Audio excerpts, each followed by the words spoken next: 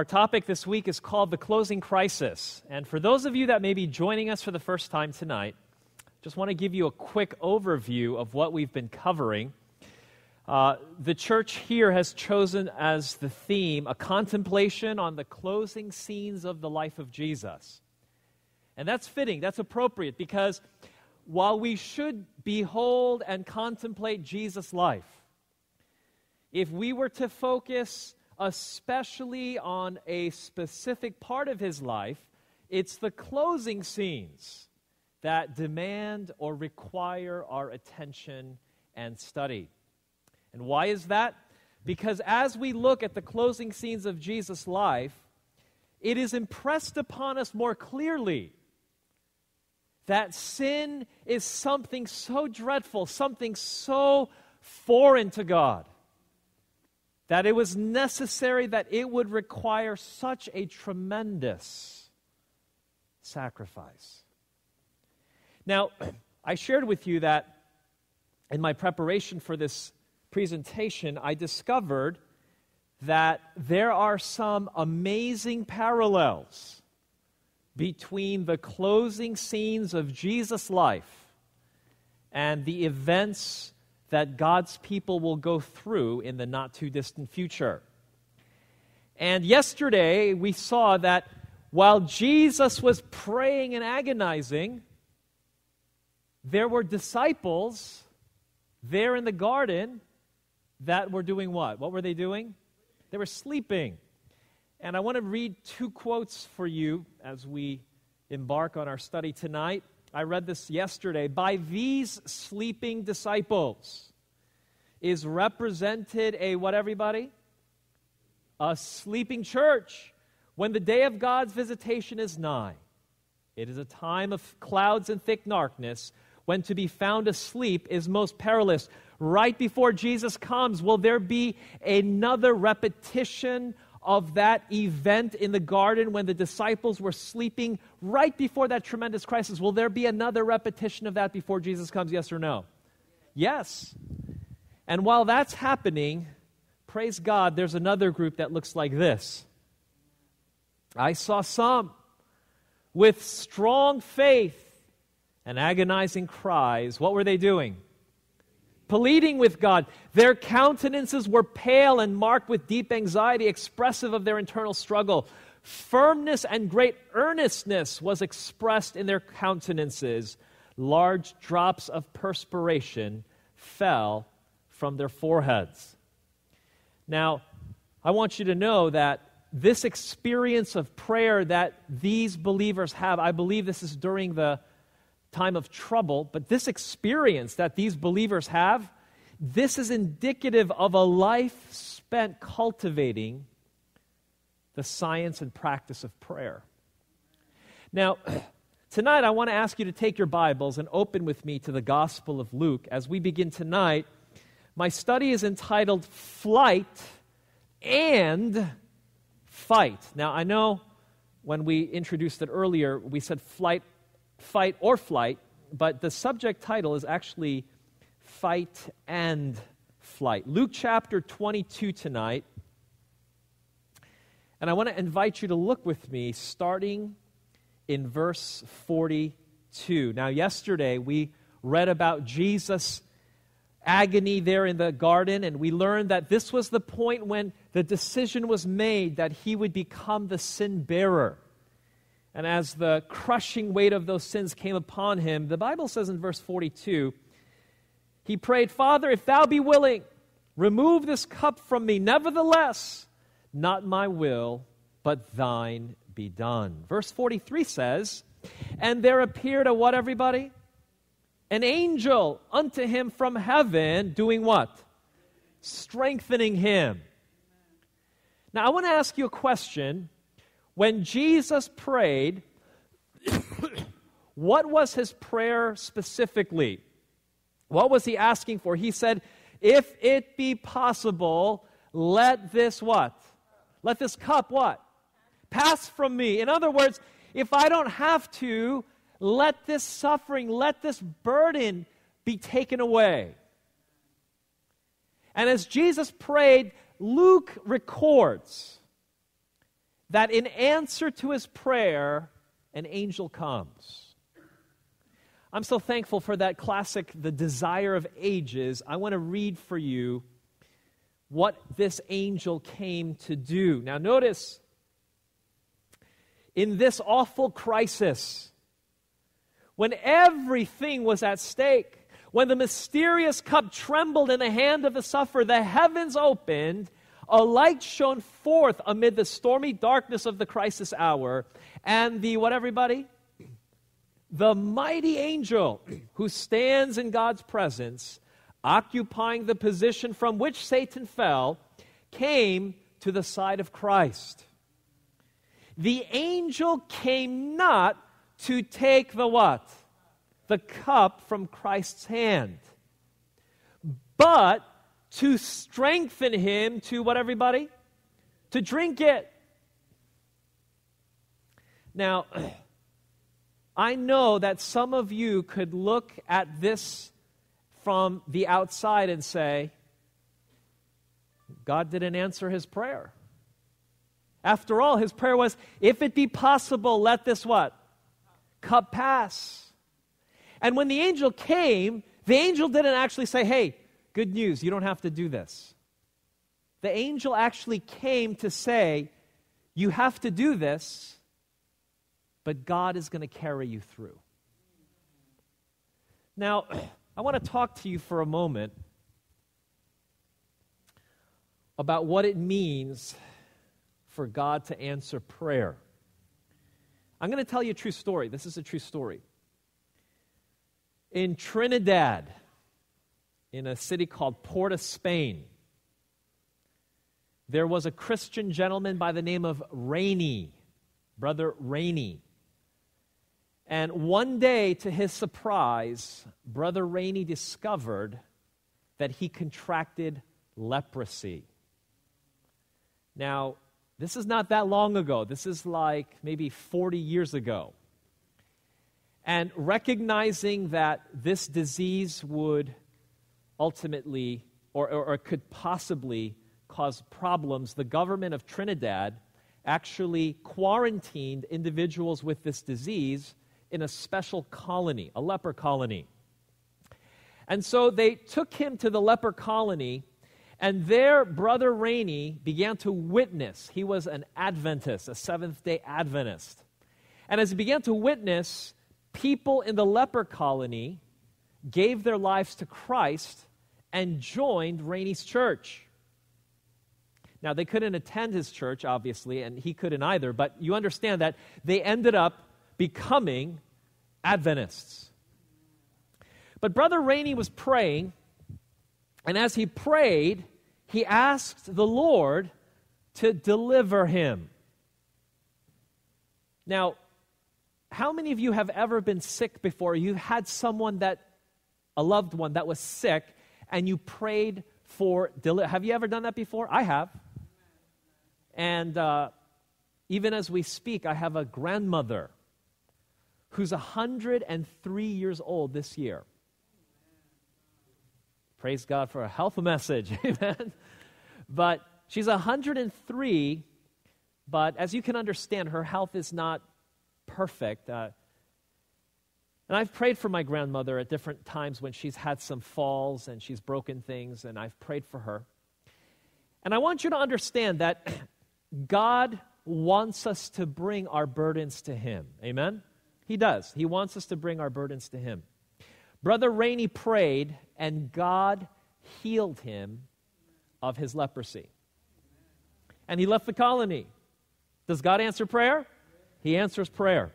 But once he left, those believers that he had helped win, after like a year or so, some of them fell back, some of them backslid. And because he kept in touch with them, he began praying for them. And he prayed for them and he prayed for them. And one day, one day, to his surprise, he discovered that the leprosy had come back. Now, I want to ask you a simple question Did God answer Brother Rainey's prayer Did God answer the prayer of Brother Rainey when he asked for those believers that had slidden back to be strengthened? Did God answer that prayer, yes or no? He did, because you know what happened? And this is a true story. It's recorded in the, uh, the Review and Herald. He went back, and this time, not only did he bring those backslidden members back, but he even won more people to the truth. Sometimes we don't understand God's bigger plan in the way that He answers prayer. Because there are some of you in here right now, and maybe you've been praying about something. Let's say you have a financial situation that has burdened you for months, maybe years, and you've been struggling and you've been struggling and you've been praying, Lord, you've, you've asked God, help me with this situation. Maybe God knows that unbeknownst to you, if material prosperity came your way, maybe God knew that that material prosperity would have the effect of alienating you from God and from truth and from being dependent on Him. Now, I want to be careful because there's nothing wrong with money. Amen? But I want you to see the perspective on this. In other words, sometimes when we pray and we ask God to answer our prayer, if we don't get what we asked, we think God didn't answer the prayer. And we think, oh, just pray more. But what we don't have to realize is that sometimes God does answer the prayer, but we don't realize that He's answered it according to His will. Does that make sense? When Jesus prayed, God sent an angel, and the angel didn't come saying, Hey, guess what? God said, since you prayed and you've prayed long enough, you don't have to do this anymore. No. The angel came and he said, You've got to go through with this, but God is going to give you the strength to make it through. Some of you here tonight have been praying about a burden in your life. And you've been praying and you've been praying and you've been asking. And even though you've been praying, God didn't give you the answer that you wanted. But what you may not see is that even though God didn't answer it the way that you wanted, God has been giving you the strength to endure that particular trial. So God is answering the prayer. He's just not answering it according to your will, but He's answering it according to God's will. Folks, if we learn this, if we understand this, that God loves us so much and He knows what's best for us. My, my, I have three sons, and my oldest two, they wanted to get a bow and arrow. And I don't know, you know, maybe some parents can relate. At the time, they were like eight and 10. And I foresaw like gouged eyes and all kinds of horrible things, you know? And I'll be honest, I said, no, I don't want this. Because it's not that the bow and arrow was bad, but I just felt like to do this could create some problems that could be irreversible. And do you understand that God is this way? When we pray, God sees the bigger picture. And so, whatever you're going through tonight, whatever thing that you've been petitioning God for over the last, maybe the last weeks, months, maybe even years, what if God knew that to grant it according to your will could potentially be salvational threatening? Maybe God understood that the best answer is I'm going to give you the strength to endure this trial. I want to ask you to take your Bibles now and come with me to Gospel of John chapter 18. John chapter 18. There's some details that are only found in this gospel. Come with me to John chapter 18.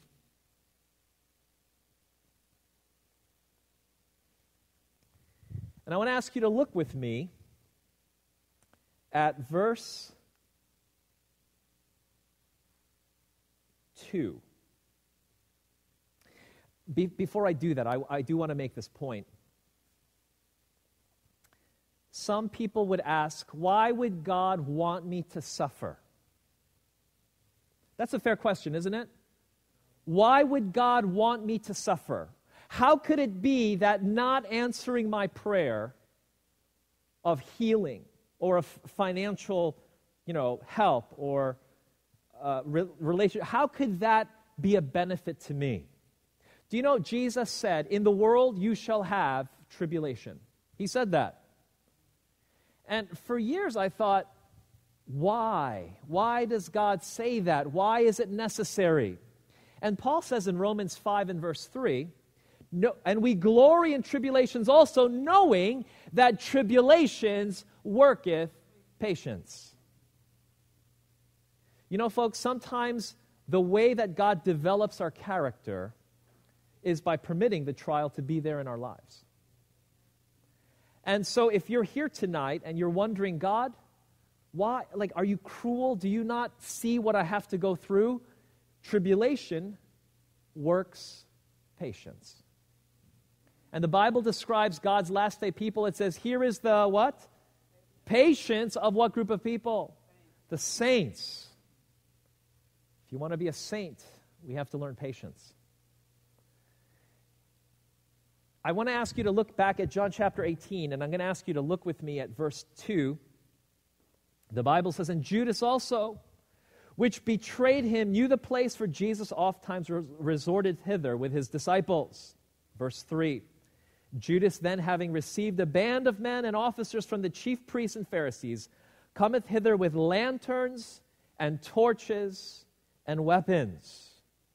Jesus, therefore, knowing all these things that should come upon him, went forth and said unto them, Whom seek ye?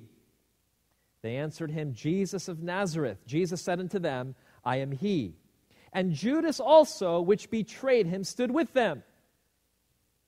And as soon as he had said unto them, I am he, they went backward and fell to the ground. Now, if you read the Desire of Ages, that same angel that ministered to Christ during his garden agony manifested his presence, and by that glory, everyone just fell backward. But then it says, in verse uh, 7. Then asked he them again, Whom seek ye? And they said, Jesus of Nazareth. Verse 8 Jesus answered, I have told you that I am he. If therefore you seek me, let these go their way. Now, when I read this, one of the things that stands out to me is that Judas comes with the mob. Now, there is a parallel to this that will take place. There will be betrayals that take place when the final crisis comes. And although we do want to focus on the, the closing scenes of Jesus' life, for a brief moment, I want to talk to you about Judas. Judas betrayed Jesus. But why did he do it? Why did one of the twelve covenant with the priests to betray Jesus. It actually started years before. And I want to read you something again from the Desire of Ages. And here's what we're told When Mary anointed the, the Savior's feet, Judas manifested his covetous disposition. Do you remember when, when the feast at Simon's house took place and Mary washed or anointed his feet with the alabaster box. And then Judas, you know, said, Why this waste? You know, this was like a year's salary. An ointment perhaps worth somewhere in the vicinity, like, like our money, maybe like forty or fifty thousand dollars. And so as this uh, as the treasurer of the disciples, he spoke out against this, what he considered to be a waste. And I want you to notice that Jesus spoke out against that. And we're told at the reproof from Jesus, his very spirit seemed turned to gall. Wounded what? Pride. And desire for what? Revenge broke down the barriers, and the greed so long indulged held him in control. This will be the experience of everyone who persists in tampering with sin. The elements of depravity that are not resisted and overcome respond to Satan's temptation, and the soul is led captive at his will. Do you know that, that Judas wanted to teach Jesus a lesson. Now, folks, we don't realize the danger of harboring bitterness in our hearts. We don't recognize how dangerous that is. Now, when we think of the final crisis, we think of the sleeping disciples and we can look at these, but for a moment we have to talk about Judas because there will be believers that play the part of Judas at the end of time. And I want you to remember, we learned on our first night together that when Jesus spoke words, the disciples were told what they would do, but they didn't hear it. Why? Because they were blind to their own condition. They could not recognize their true heart condition. And as I say this tonight, as I say that some of us in here may end up playing the part of Judas, I know that most of you, or probably all of you, are saying, Not me. Not me. I'm not going to betray God's people. It's not going to be me. But my question to you is as you sit here tonight, is there anyone against whom or to whom you harbor bitterness, resentment, or animosity. You know, over the years, I've conducted evangelistic meetings around the world. And, you know, it's hard to know if a person's ready to be baptized unless you ask them the right questions. And I've had members of my church that were preparing for their imminent death. And as a pastor, you have to really understand how do you know that someone is really right with God as they're facing eternity? How do you know? And you know what I discovered? As simplistic as it sounds, I learned that one of the best evidences that a person is truly saved is if they have no bitterness or animosity against anyone, living or dead. Can I explain why that is? Let me explain why. Righteousness is obedience to God's law. Does that make sense? And a person can only see heaven if they have righteousness. Not their own, but the righteousness of Christ. But do you understand that love is the same thing as righteousness? Love is also the fulfilling of the law. Does that make sense? So, if I could say it another way, you receive righteousness by faith, but you receive love by faith as well. That's why the Bible says faith works by love. So if you want to know if someone is really righteous, if someone is really right with God, all you have to figure out is do they really have divine love? Now, look, let me, let me point something out. It's easy to love your family. Uh, it, at least it should be, okay? I, I realize that's, I, I made a mistake there, but it should be, right? It's easy to love your friends, right? That's not true. That's not the real test. The real test is can you love the person who kisses you to betray you? That's the test. Do you understand that we love Jesus as much as the person whom we love the least? I don't know if you understand that. That's a biblical principle. We love Jesus as much as we love the person who, or as much as we love the person that we love the least. As you've done it unto the least of these, you've done it to Christ. Does that make sense? And so, what that means is if you harbor bitterness or animosity against anyone, what that really means is that you don't really have that righteousness which comes by faith. Now, that's what I ask my baptismal candidates. I'll say, look, I just have a quick question for you. Is there anybody that you can think of before you get baptized that you have to forgive in your heart? Is there someone that's wronged you over the years? Is there someone that, that's hurt you that you need to forgive before you make this, this public declaration of a new life in Jesus? You would be amazed at how many people struggle with bitterness and anger. Some of you might know uh, my ethnic background. Well, I was born in the States, but my ethnic background is Korean. And Koreans are like fiery people. That's why the North and the South, they're still fighting, you know? and uh, the truth is that it may, you know, this is not an excuse, but I think that some cultures tend to be a little bit more passionate than others. And you know what? That being said, that just means that I need Jesus. Does that make sense?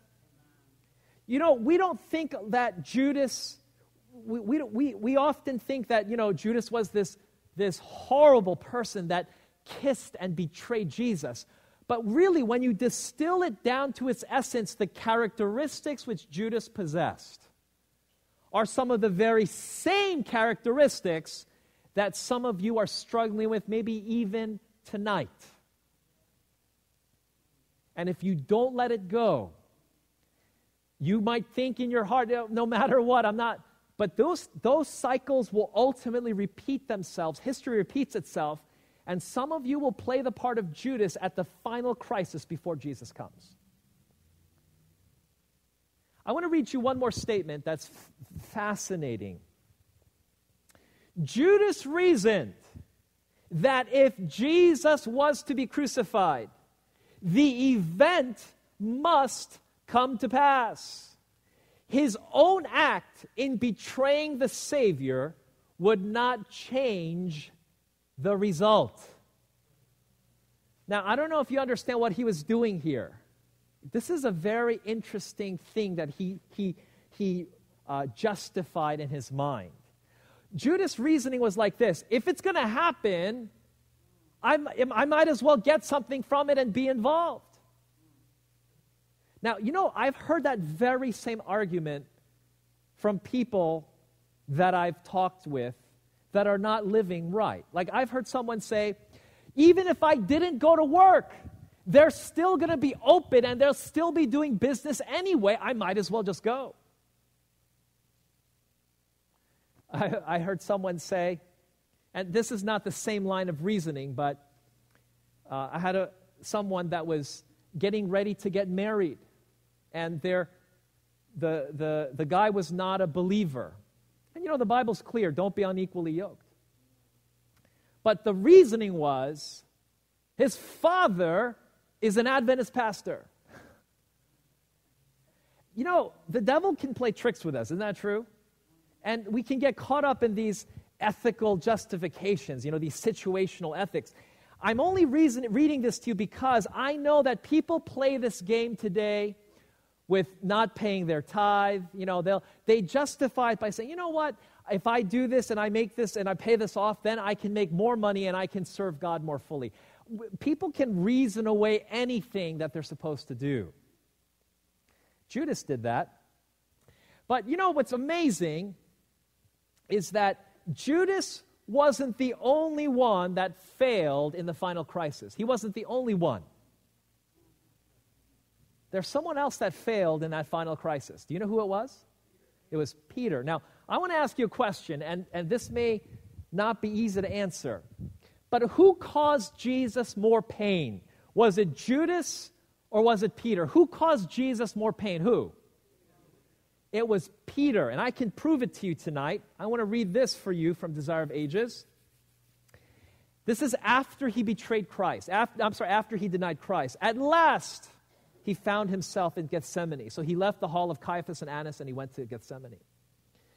The scene of the few hours before came vividly to his mind the suffering face of, the, of his Lord, stained with bloody sweat and convulsed with anguish, rose before him.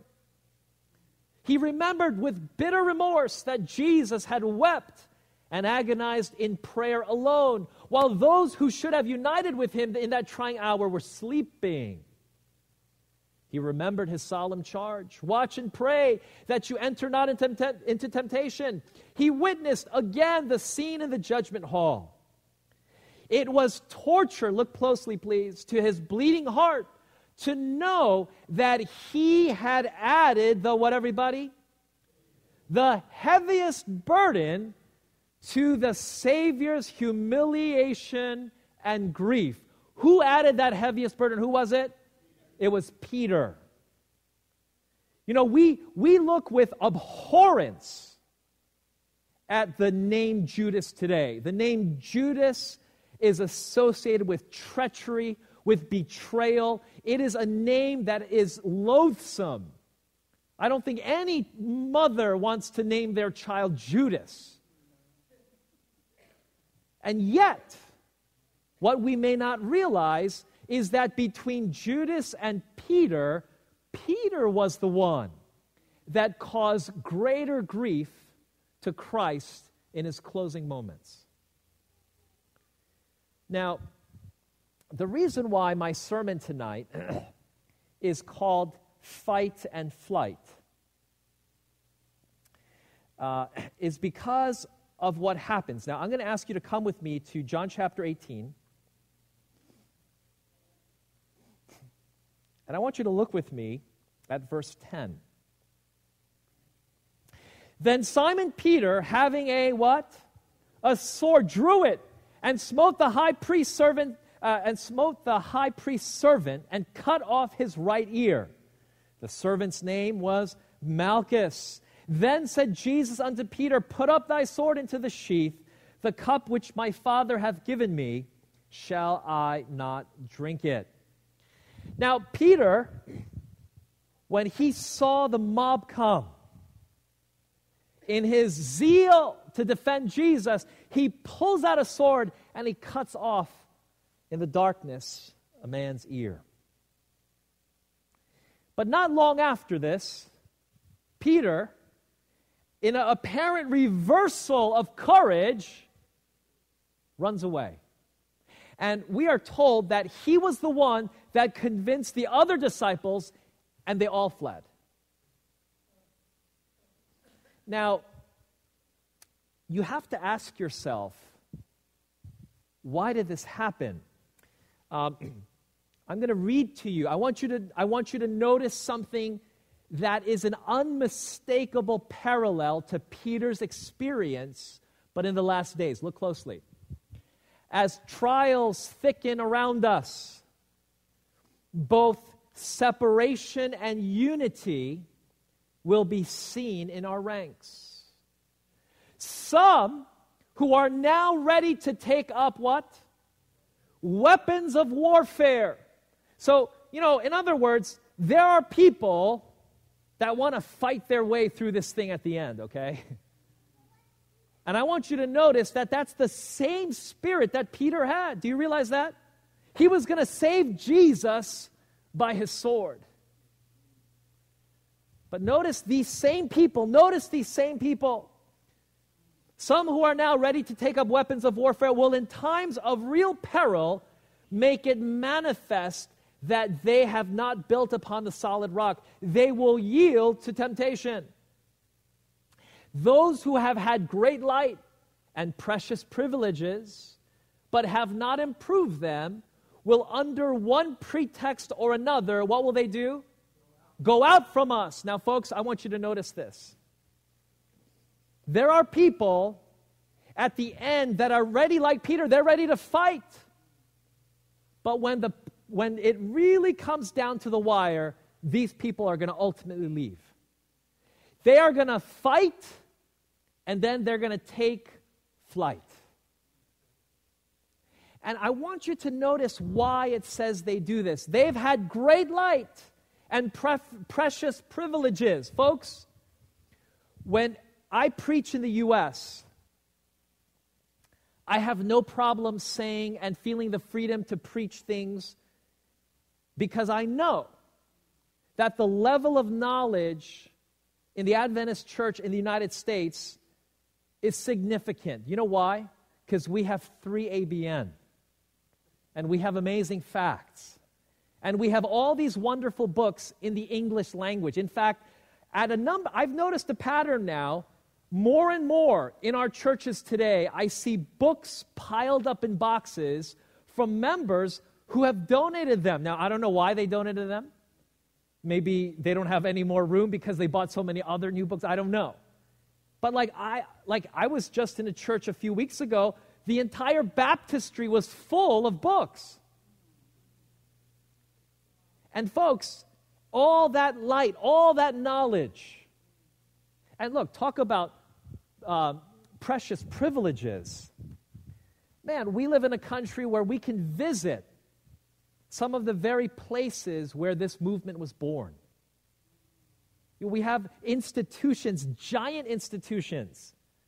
You know, if you ever wonder what kind of an impact has Seventh day Adventism had on our world today, you don't need to go any further than our Adventist healthcare system. I mean, I don't want to toot our own horn, but it's one of the best healthcare systems in the world. Quick story when I was visiting Thailand, the president of the hospital gave me a tour. And he told me that when the president of the United States had visited Thailand, they reserved one room at the Bangkok Adventist Hospital. Now, I don't know if you know this, but when a president travels overseas, before he even gets there, they reserve one room in the best hospital in that capital city. Because in the event of an emergency, there can't be any delay in treating the president. Does that make sense? They did that at Bangkok Adventist Hospital. look, I'm saying this to you because we are privileged you know, people around people uh, around the world eat peanut butter every day without realizing, hey, this guy uh, John Harvey Kellogg thought of this to help people eat eat more nuts, you know. And uh, I mean, I won't get into all the details, but we have tremendous privileges, and yet many of us aren't improving on them. Now, I want to read the rest of this. Not having received the what? The love of the truth. Now, let me explain. There's a difference between having the truth and having a love for the truth. There's a difference. Are you with me? You know, whenever I preach evangelistic sermons, I'll come to some like very juicy nights. Like tonight we're covering the mark of the beast, and sometimes I'll do it in like two parts. Tonight we're talking about the Antichrist, you know? And always at the end of the first night, I'll have people say, Hey, hey, just tell me. I just want to know. Just tell me who it is. tell me what it is. You know, tell me. And you know, they're, they're curious. They want to know, right? And it's not wrong to know. That's not wrong. But some of these people will learn about the Antichrist or they'll learn about the mark of the beast and then they'll go right back to living exactly the way that they've been living up until that point. You know why? Because they have received the truth but they don't have a love for the truth. Does that make sense? A lot of people, a lot of people, they like the idea of having the knowledge, but they don't have a love for the truth. And that's the class of people at the end of time. They're the ones that at first they're like, they look so zealous, like we're going to fight our way out of this. And then they're gone. They want to fight, and then they take flight. How is it with your soul tonight? Have you had great light? Have you had amazing privileges? And have you approved upon them? Have you received a love for the truth? You know, I'm sharing this with you because I want you to realize that these same characteristics that existed in Peter, who caused such agony to Christ, those same characteristics. they may exist in us as well. I, am running out of time, but I want to read you something here. Um, please notice how Peter could have avoided this. Therefore, it was that he gave them warning. Had those hours in the garden been spent in watching and what else? And prayer. In watching and prayer, Peter would not have been left to depend upon his own feeble strength. He would not have what? Denied his Lord. It's very simple, folks. It's very simple. If Peter had done two things, what was that? Watch and pray. To watch means to stay awake. And yesterday I shared with you what it means to sleep. If Peter had stayed awake and if he had prayed, he could have avoided denying Christ. Is there a need for God's people before the final crisis to have this same experience, yes or no? Now, I know that some of you are going to wonder why I'm reviewing this, but I've noticed each night there's always some new people. So, yesterday I gave you four practical points on prayer. Tonight I'm going to add one more, okay? Then we're going to close. Yesterday I shared with you that we are counseled to have a special place to pray. I have a very tiny, tiny RV. It's not that tiny actually, but compared to a house, it's tiny. But I have a place right by my bed where I pray. If you have a home, you have a place to pray. So you need a place to pray, and not only that, you need a time to pray. You could have more than one, but you should have at least one. Okay? And then you need to pray.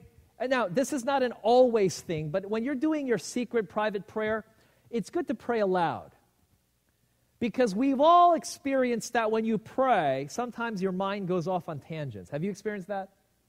And you know what? I've learned this. When I articulate my words in my prayer, like when I t- articulate my thoughts, somehow the act of just saying out, out loud uh, like uses more of my brain and I'm less likely to wander off in my thinking.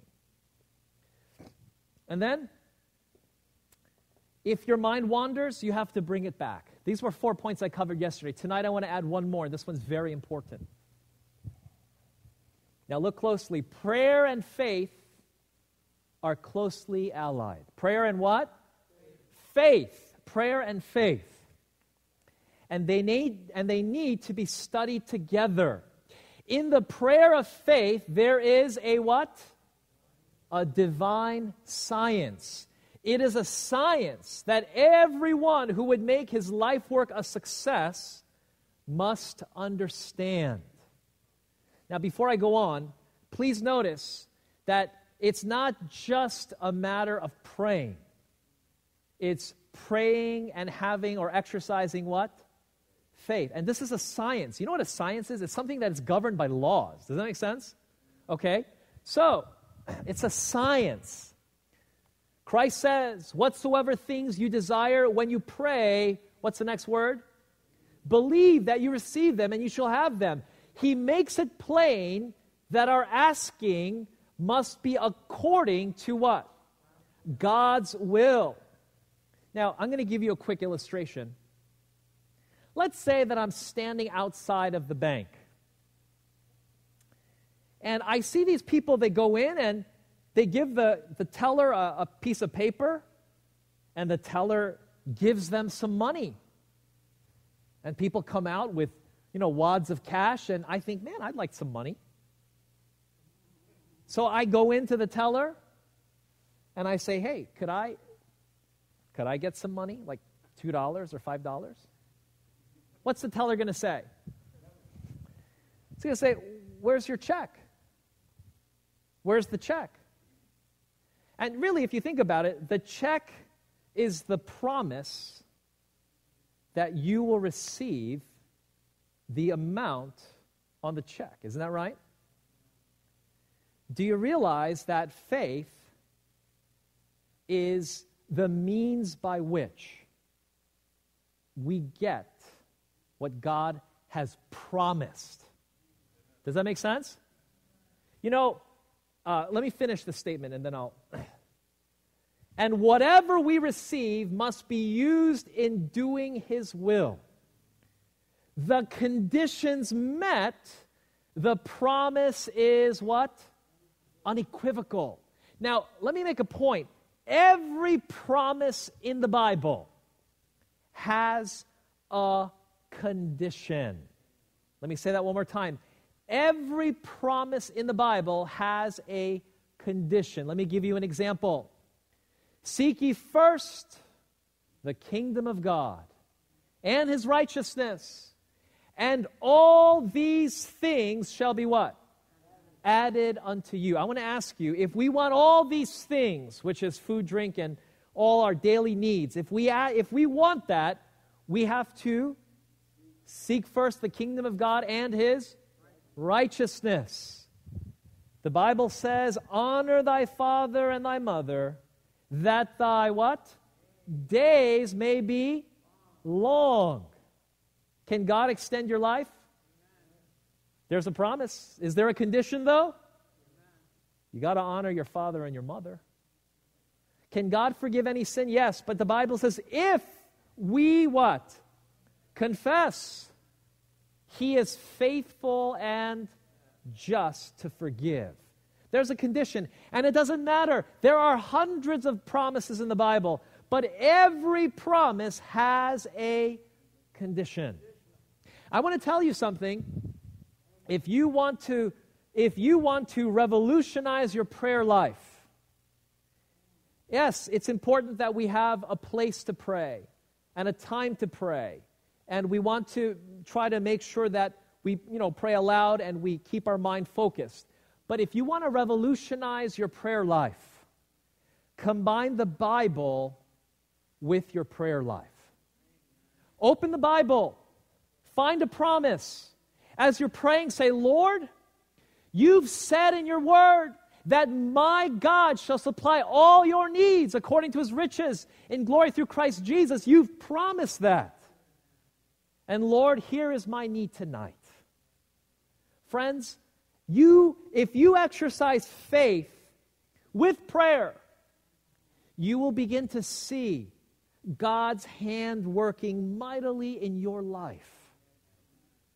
Now, if for years you've been praying and you've just been asking God, part of the reason why you may not have been seeing things is because maybe for one, you weren't asking according to God's will, but number two, maybe you didn't realize the science of the connection between faith with prayer. And faith is always based on God's word. Does that make sense? And so take the Bible, open it, find those precious promises, and as you pray, say, Lord, you've said it in your word, it's here, you've promised this. And I come to you now asking that you would fulfill your word. Friends, God has some amazing things that He's going to do in these last days. But it will be in answer to the prayer of faith according to that divine science. Tonight, I want to ask you to take your hymnal. I'm going to ask Audrey to come up, and she's going to play number 476. Number 476 Burdens are lifted at Calvary. And as we sing this tonight, maybe you have a burden on your heart. Maybe it's the burden of bitterness, because let me tell you something, folks. Bitterness is something that you are carrying that hurts you more than someone else. Bitterness is like swallowing poison and hoping someone else gets hurt. And the truth is that that's a terrible burden to bear. And you know what? You can't get rid of it unless God comes into your heart and gives you the gift of forgiveness. Some of you have burdens for loved ones. Whatever it is, if you have this special burden on your heart and you want to pray the prayer of faith, you want God to intervene for you tonight. As we pray, I'm going to invite you to come to the front. I'm going to ask our pastor to have a closing dedicatory prayer. But as we sing number 476, speak to God in your heart and let's sing all three stanzas. Hymn number 476.